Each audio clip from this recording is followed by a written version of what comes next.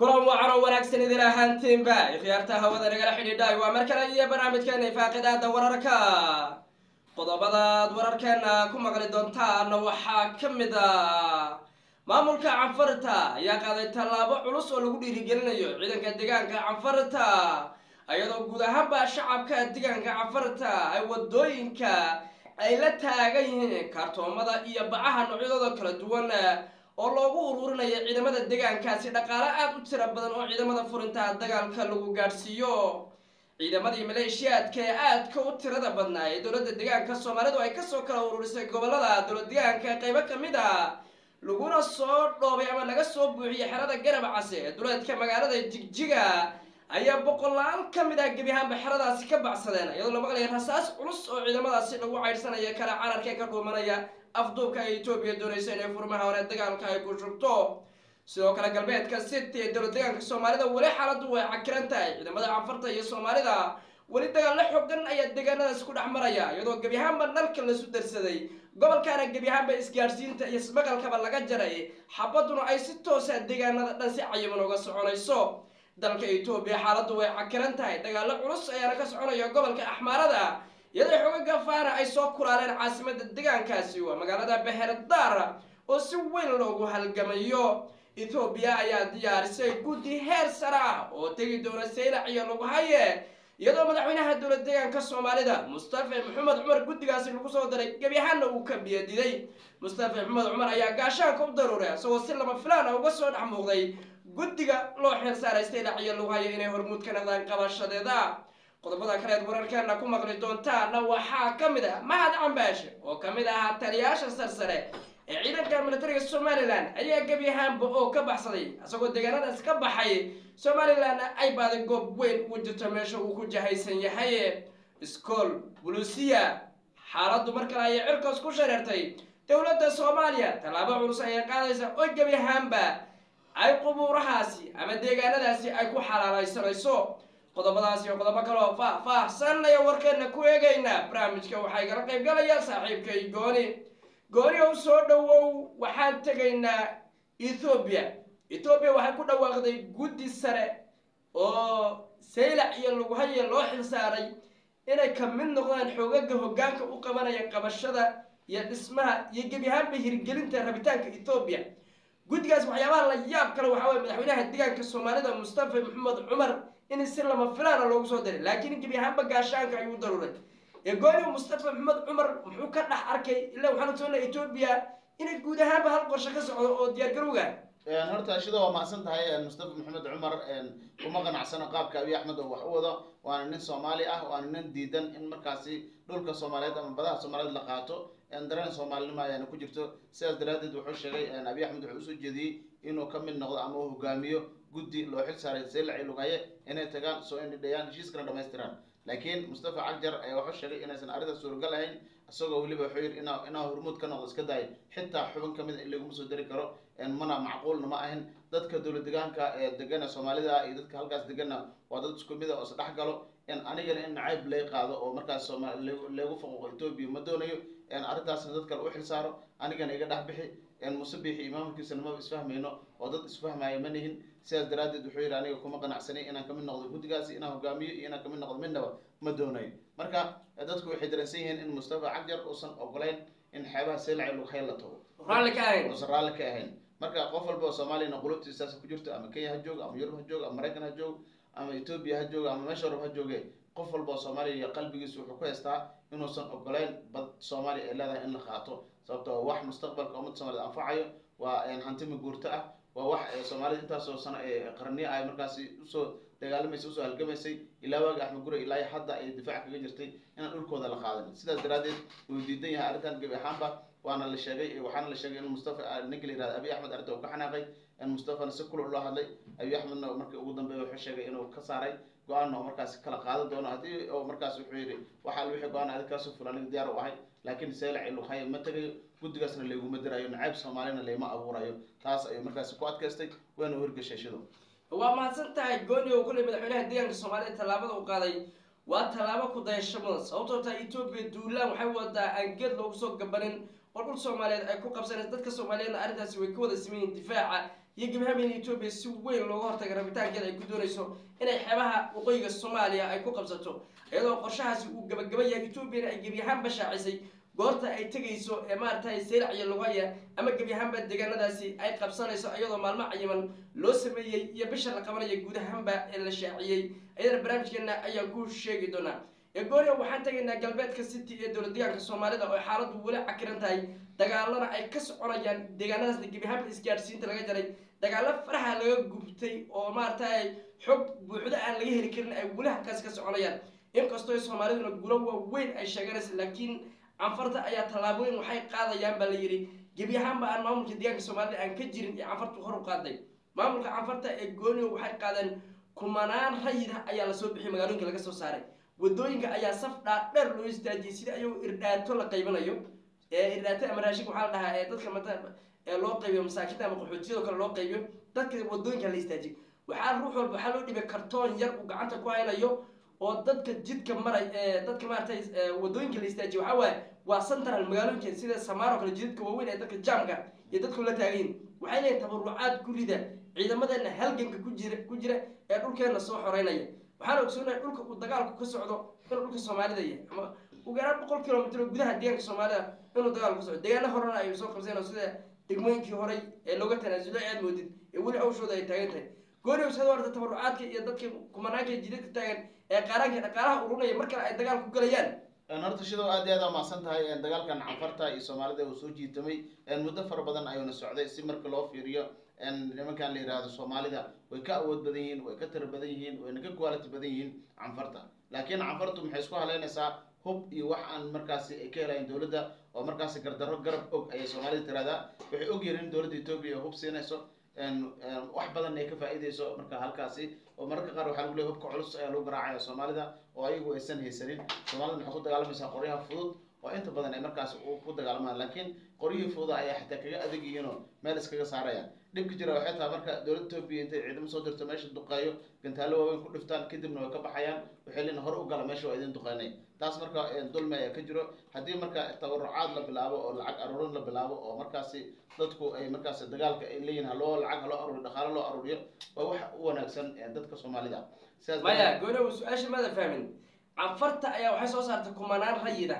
Jidadka lacag santaraalka lacagay ururinayaan ciidanka canfarta lacag loo ururinaya waxaa la leeyahay hub iyo dhaqaale ayaa loo baahan yahay. Dadka canfarta dhan baa guryihii ka soo baxay. Central magaalada ganacsiga dhexdiisa la tumaya jidka weynaa ee gaadiidki jidadka ay inta badan jaamka keena ee maaragtay ee gaadiidka uu qulqulayo. Ah, lacagta ururinaysa.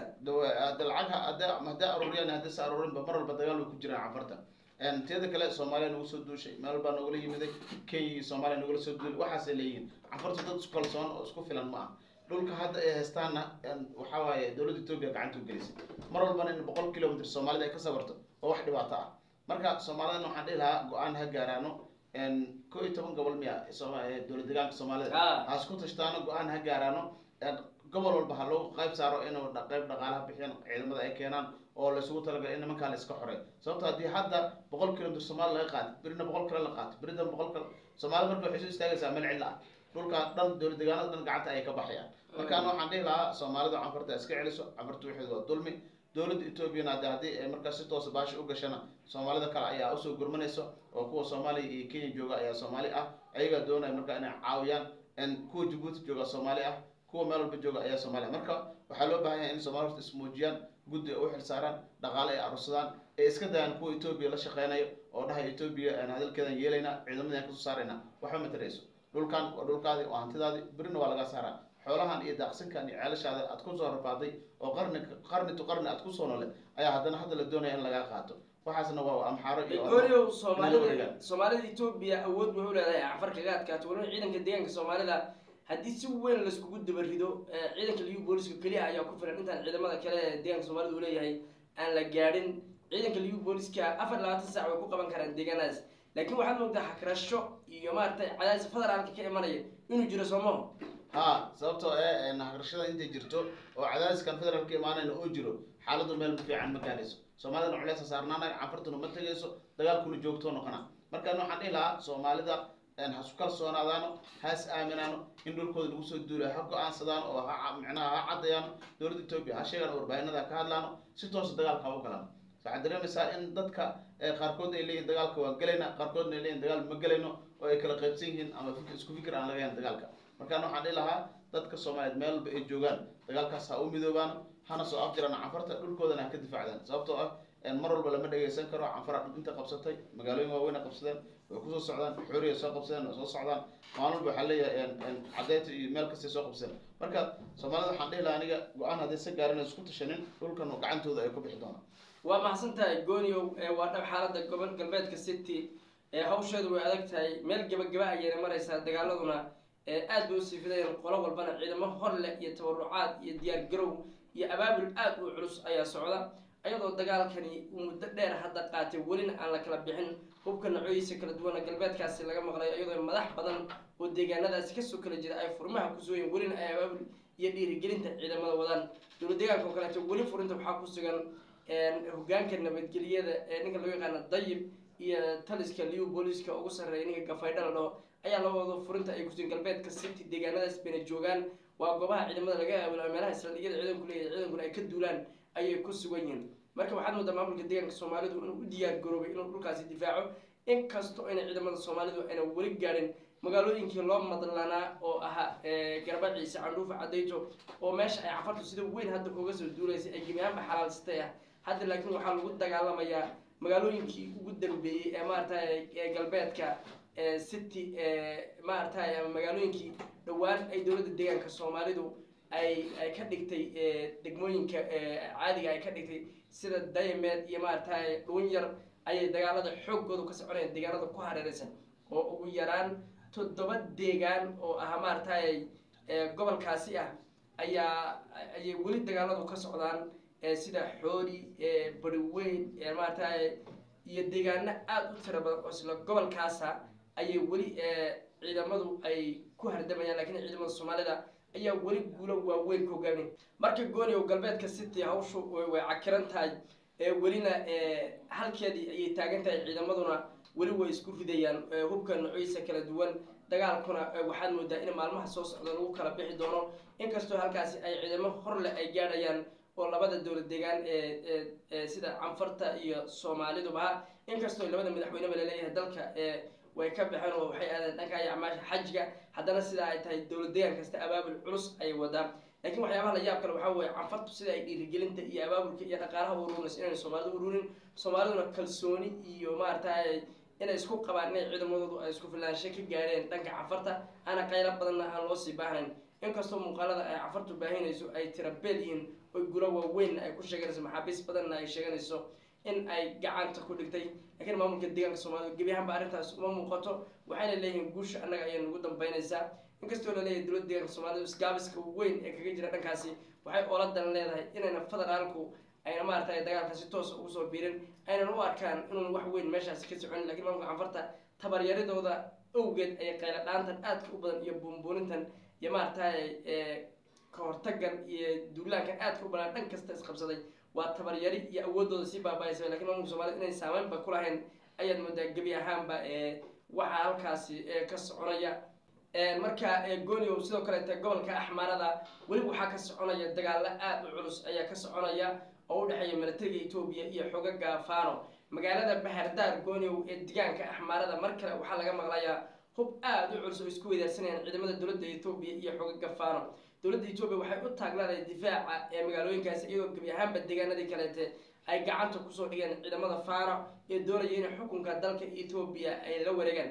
Laakiin ra'iisul wasaaraha etoobiya doctor abiy axmed ayaa wacad ku maray inayna faano marnar u suurtagelayn rabitaankeeda inay xukunka dalka qabtaan ayna ahaan doonto kuwa aan magacooda meel fog laga raadin doono iyadoo ciidamada cirka ee dalka etoobiya ay duqeymo waaweyn ka geysteen deegaanada ay ku sugayeen xooga fano marka gooni dalka etoobiya xaaladiisu si weyn bay u adag godmudug ugu sii dhacaysaa iyadoo dowladda etoobiya ay diyaarinayso abaabulka ee dhanka iyo soomaalida iyo maarata ciidamada aada u dibladan sidoo kale gooni ra'iisul wasaaraha dalka etoobiya doctor abiy axmed ayaa mar kale tababaro wuxuu u furay wax lagu sheegay ugu yaraan konton kun oo maleeshiyaad ah oo laga soo ururiyey gobolka oromiya iyo deegaanada kale ee binshaangul gumus oo tababar ayagana loo furo kuna biiraya baa layidhi ciidamada qaranka dalka etoobiya marka gooni dalka etoobiya abaabul weyn buu wadaa oo diyaargarow colaadeed aha oo la leeyahay midda gudaha ku jirta uma muuqata ra'iisul wasaaraha.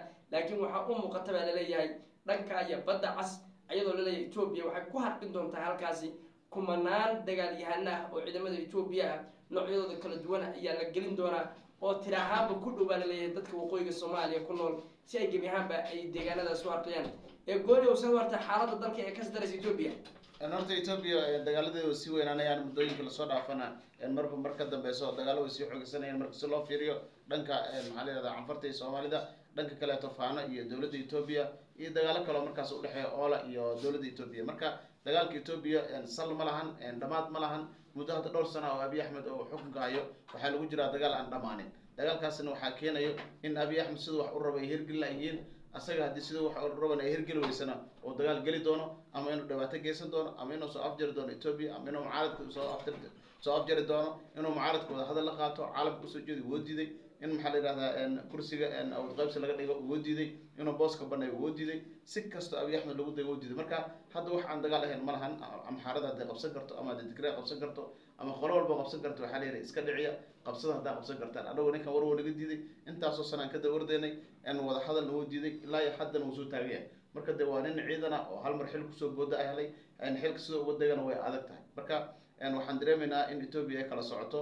Waqtigan wixii ka dambeeyana ay noqon doonto gobolo gobolo ama maxaa la wadan wadan qaybsamay oo ilaa iyo toban wadan ka badan u qaybsami doono. Oo qolo walba dheedooda inteeda qootay waxay imaan karana ma lahan. Ciddii timaadana de baarkan iska leefayna. Halkaas ayay xaaladdu maraysaa abiy axmed fashil ayuu lagu hawgeliyay dowladda etoobiya waa mahadsan tahay goonio waxaan tegaynaa dhankaayo waqooyiga soomaaliya ee sargaal sare ka tirsan militariga somaliland mahad cambaashe ayaa oo ka baxay baa layidhi mahad cambaashe xaggee u jahaystay?